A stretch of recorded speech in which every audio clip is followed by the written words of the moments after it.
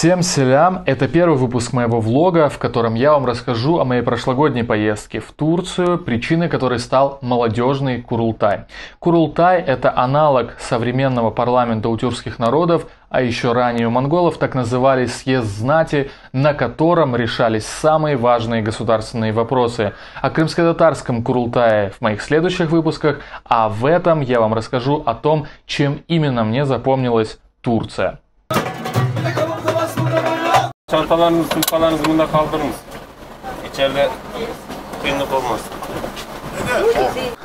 Ну что, я нахожусь э, на мавзолее Ататюрка, он рядом со мной.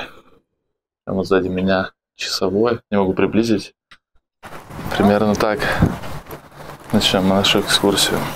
Именно этими словами начинался мой влог тогда, у мавзолея Мустафы Кемаля Ататюрка в Анкаре. И три вещи, которые мне запомнились более всего.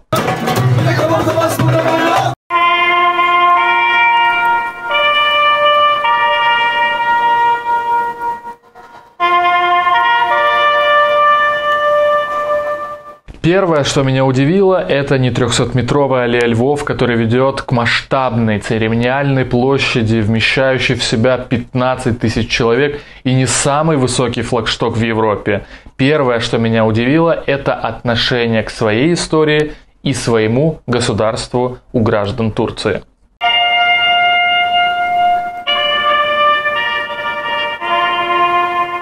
Люди, буквально замершие во время минуты молчания, после которой произойдет торжественная смена караула, таким образом выражают признательность и уважение своему первому президенту Мустафе Кемалю Ататюрку. Признательность за взятие ответственности в непростое время. Большинство из посещающих мавзолей туристов – это граждане Турции. Почему я обратил внимание на отношение к своей истории и государству? Все просто. Произошедшее сто лет назад – это история о людях, без которых не было бы современного государства. Второе. Снимая, я представлялся как блогер из Украины. И самый смешной момент со мной произошел именно тогда, когда я захотел снять чуть ближе караульного, вспоминая фразу из социальной рекламы 90-х «Дима, помаши маме ручкой». Не шевелится. Дима! Дима! Ну хоть бы рукой махнул матери! Дима, поможи рукой маме! На территории всего комплекса работает в огромном количестве службы безопасности, которая не особо-то и заметна. Увидеть их можно в момент смены караула, они сопровождают солдат и стоят рядом с часовыми. Ну и я решил испытать судьбу и подойти к караульным, либо службе безопасности и попросить их передать привет Украине, как рекламный Дима своей рекламной маме. Can you say hi to Ukraine? No? Ну нет так нет, подумал я. Это ожидаемо. Но разговор продолжился. Germany? Ukraine. German, Deutsch. Ukraine. В какой-то момент я подумал, а, ну тут все ясно, как во время поездки в Штаты. Объясняешь, что ты из Украины, тебе говорят круто, улыбаются, на самом деле ничего не понимают. Объясняешь, что ближайший сосед справа это Россия, говорят, а, so you are Russian, но почему German, Deutsch?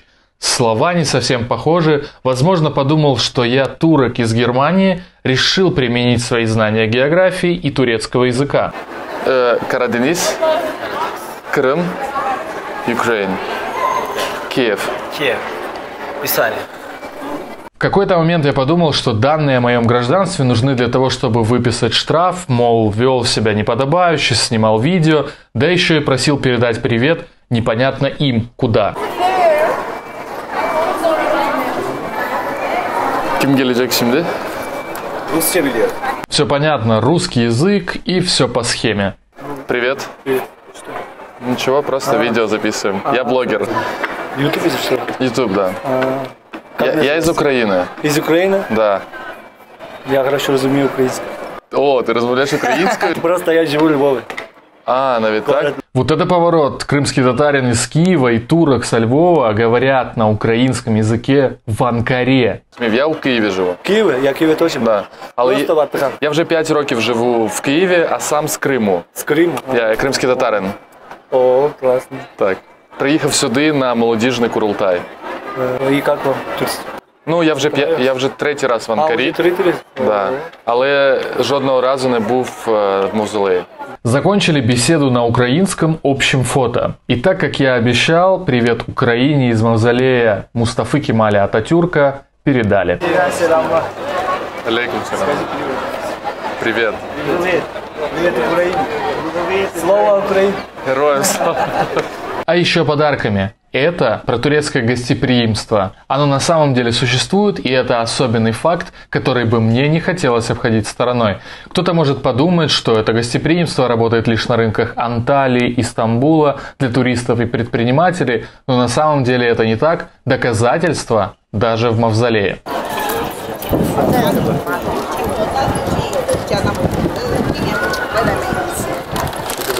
Чуксал.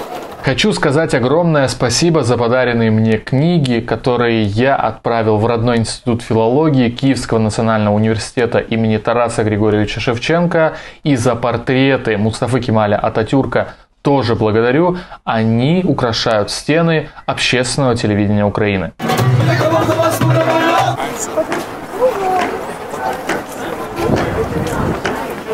Третий факт. Увидев школьников, посещающих мавзолей Ататюрка, мне вспомнился эпизод из моей первой поездки в Турцию. Это был жаркий месяц май, 2009 год. Тогда гимназия имени Ильи Сильвинского, в которой я учился, производила обмены в турецкие школы городов Стамбула и Селевке, который, кстати, является побратимом Евпатории. Тогда я отправился в турецкую семью, проживал там на протяжении недели, ходил на занятия, а, купался в Средиземном море, ездил на экскурсии. В общем, самые лучшие летние каникулы, которые может себе представить 14-летний школьник. Яркое воспоминание с той поездки связано с опозданием в школу. Мы с Омером, старшеклассником турецкого лицея, опоздали на школьный автобус, и нам пришлось автостопить.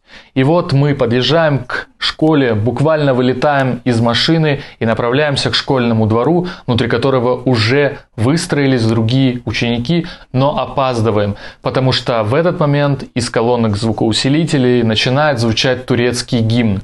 Умер останавливает меня, замирает сам, прижимает руки вдоль тела и начинает петь турецкий гимн, во время которого над школой поднимается турецкий флаг. Эту любовь я заметил тогда, и эту любовь я вижу до сих пор. Любовь, которую воспитывают с детства и которая остается у людей до конца их жизни.